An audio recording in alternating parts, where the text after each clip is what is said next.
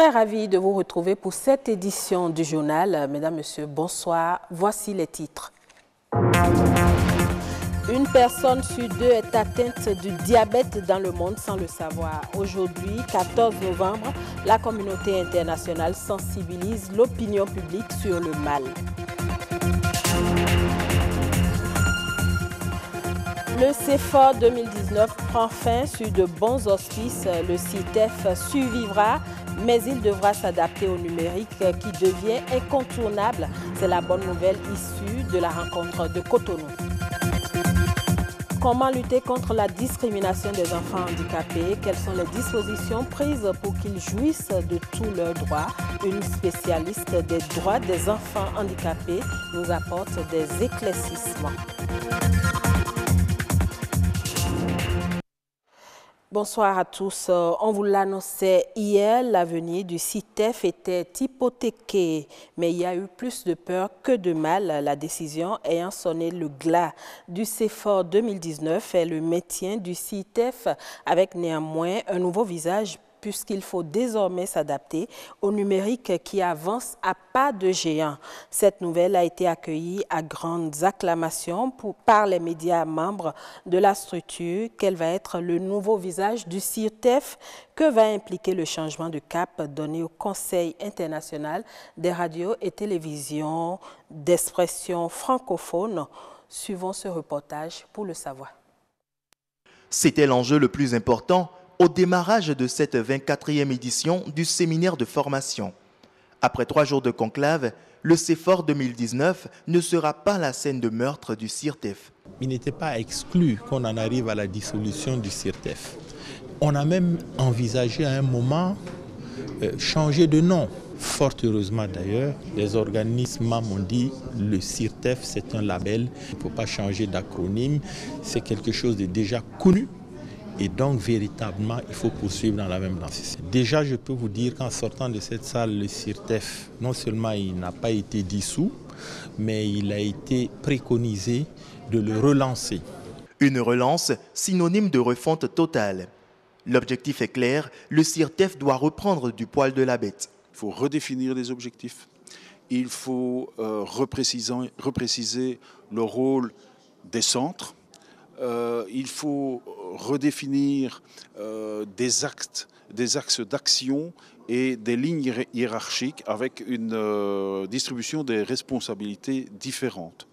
Ce qui signifie, grosso modo, qu'on oublie le mode de fonctionnement avec des centres spécialisés, mais qu'on redéfinit le rôle non plus des centres, mais des sites en fonction d'une thématique particulière par exemple, nous aurons un pôle euh, formation, nous aurons un pôle numérique et nous aurons un pôle bureau d'études.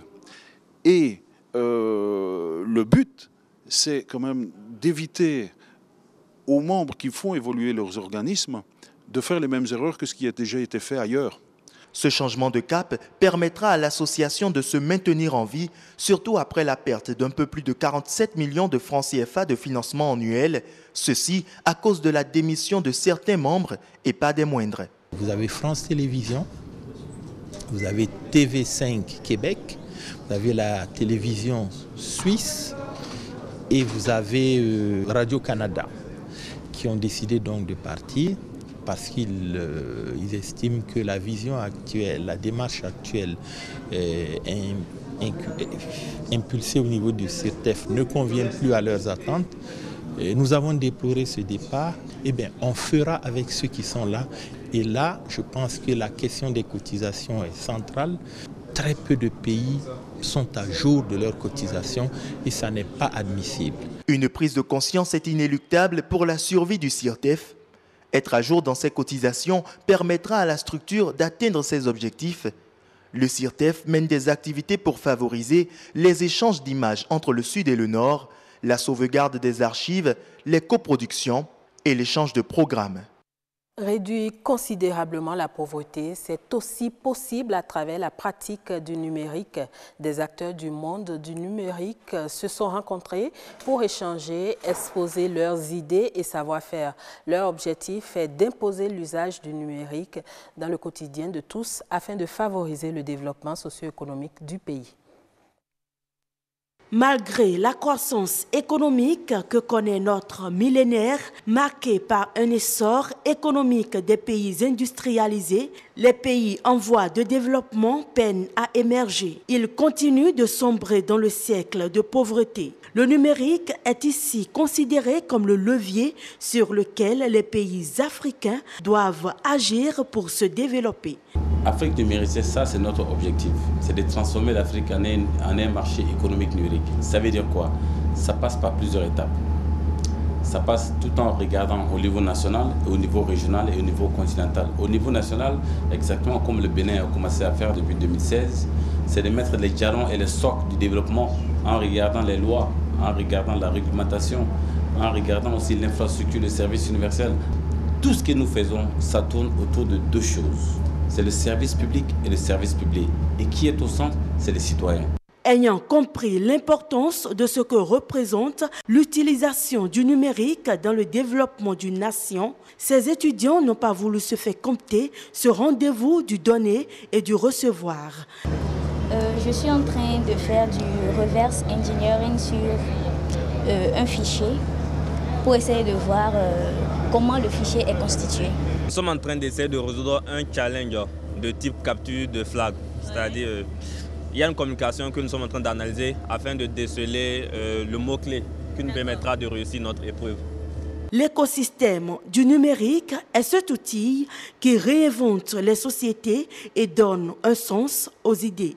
Le numérique, en fait, se veut être euh, un domaine inclusif euh, à partir duquel ou bien à travers lequel on peut, euh, comment on va dire, fédérer voilà, toutes les parties prenantes, que ce soit les citoyens lambda, les, autorités et les entreprises, avec des solutions qui euh, euh, des, réponses précises et facilement applicables aux problématiques euh, de nos populations, notamment la pauvreté par exemple. Le numérique est alors un outil d'émancipation, d'innovation et de sensibilisation. Il est perçu comme un vecteur capable de réduire la pauvreté en Afrique. Le diabète est un enjeu de santé publique majeur. Il touche plus de 400 millions de personnes dans le monde. La journée mondiale du diabète, célébrée le 14 novembre de chaque année, réunit la communauté internationale autour d'une seule voix pour mobiliser et sensibiliser contre la pandémie. Quelles sont les causes et traitements du diabète? Amandine Aniamboso, Amitié Sagbidi.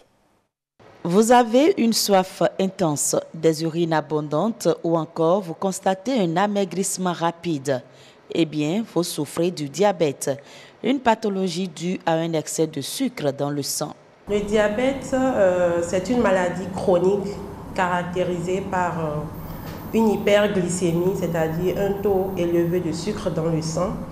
Et cela résulte soit d'un défaut de sécrétion de l'insuline par le pancréas ou bien d'un défaut d'action de l'insuline.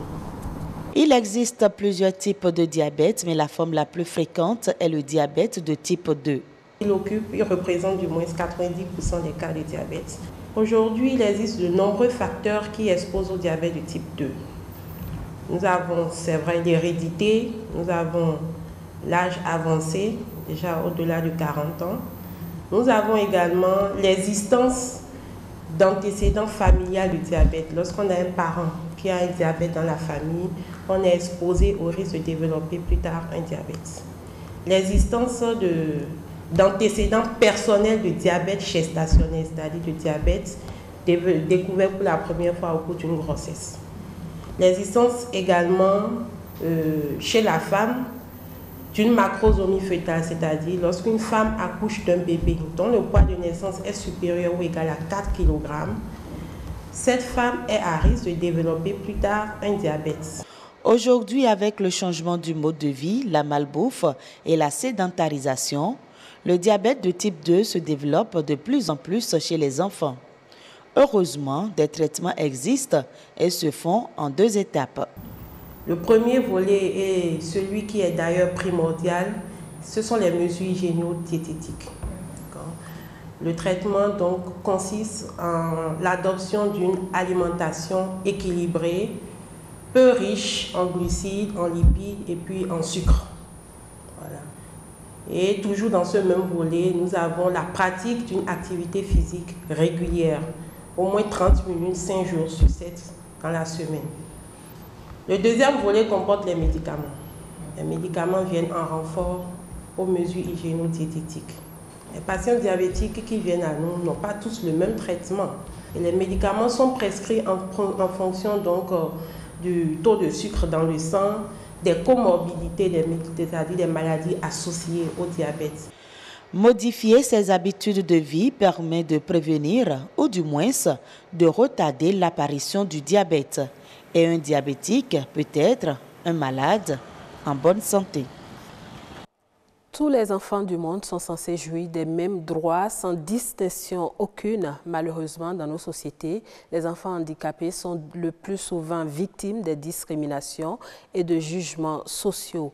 Pourquoi les enfants handicapés sont-ils marginalisés et quelles sont les dispositions prises pour faire profiter aux enfants en situation de handicap leurs droits? Éléments de réponse dans cette interview réalisée par Joseph Bonquet d'Otou. Un enfant, d'abord, c'est un enfant.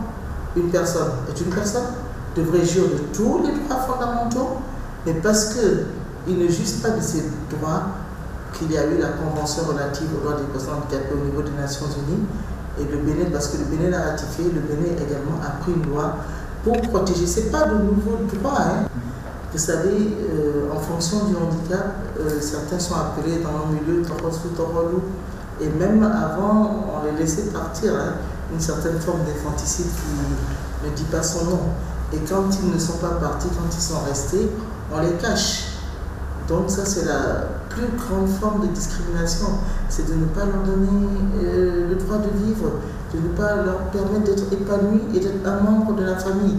Euh, chaque enfant, handicapé et non handicapé, doivent apprendre et grandir ensemble dans l'école de son quartier, avec ses frères et sœurs et ses amis non handicapés. Mais pour cela, il y a beaucoup de choses à faire. Il faut d'abord former les enseignants, il faut voir les infrastructures, il y a l'accessibilité physique, mais aussi l'accessibilité au niveau de l'information. Il faut revoir aussi le programme, et quand ils vont commencer à composer, il faut compenser par maintenant. Mais tout est, tout est prévu dans, ce, dans cette loi-là. Tout est prévu. Et si cette loi, qui malheureusement n'a pas encore de décret d'application, si cette loi de 2017-06 du 29 septembre 2017 portant protection et promotion des droits des personnes handicapées en République du Bénin, dans tous ces articles, tout est fait pour que la personne handicapée puisse vivre partout. Et grâce à ça, on aura ici au Bénin une société inclusive. Et en résumé, je dis souvent qu'une personne handicapée n'est pas un objet de pitié, mais un sujet de droit. Donc tous les droits de l'homme pour toutes les personnes handicapées. Actualité hors de nos frontières, au Togo, l'exécutif adopte son budget pour l'exercice 2020. Le budget de l'État est attendu en ressources et en charges à 1466,2 milliards de francs CFA, Selon le compte-rendu du Conseil des ministres du mercredi 13 novembre 2019, une hausse d'environ 6%. Selon les projections de Lomé, l'économie devrait tourner à plein régime en 2020. Au Kenya, les défauts de paiement sur les emprunts hypothécaires ont explosé en 2018 dans un contexte économique difficile pour de nombreux ménages du Kenya. Le remboursement des créances devient de plus en plus difficile.